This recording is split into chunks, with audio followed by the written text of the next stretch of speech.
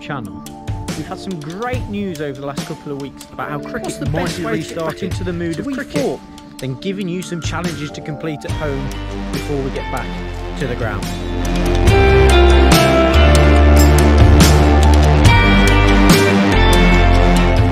Yeah, like I said, you just got to keep doing the challenges, see if you can set a score for them,